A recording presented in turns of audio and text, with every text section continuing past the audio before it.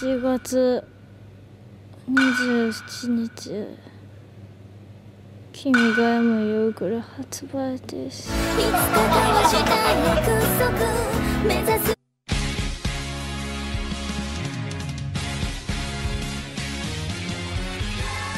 さてエンディングのお時間となってしまいました。だっちゃだらったんた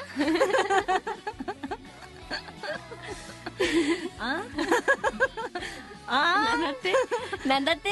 さてエンディングのお時間となってしまいましたがいかがだったでしょうか？って言いましたが。はい。言えてたかな？言って言ってました言ってました。ですよね。全然私噛んだことなんてないんですから。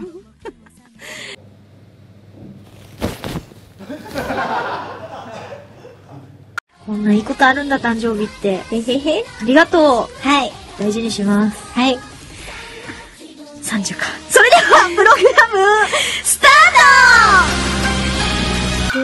11月27日君が夕暮れ発売か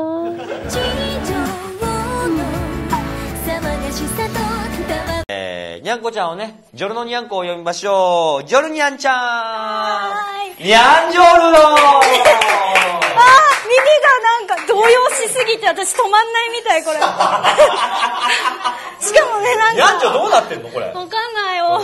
これ落ち着まんの？落ち着くと止まんの？はい、冷静冷静に。はい、耳止めて。はい、落ち着いて。はい、落ち着いて。こ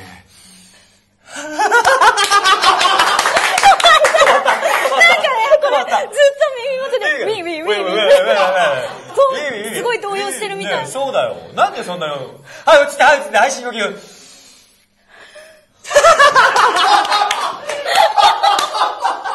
面白い。面白い。猫っぽく。アンダーゾーン。秋葉原だよ。秋葉原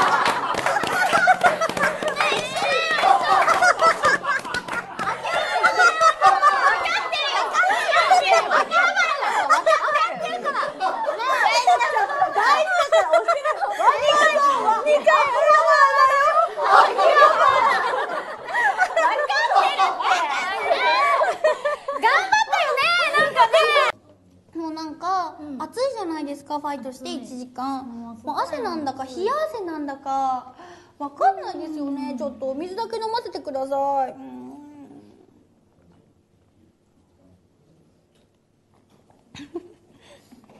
見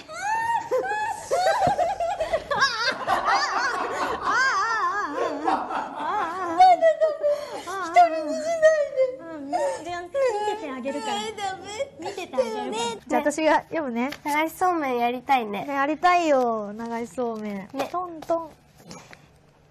次行こう、ちょっと待って。読もうか。いける。あまだいけそう、まだいけそう。分かったよ。えー、シンシさんからいただきました。ありがとうございます。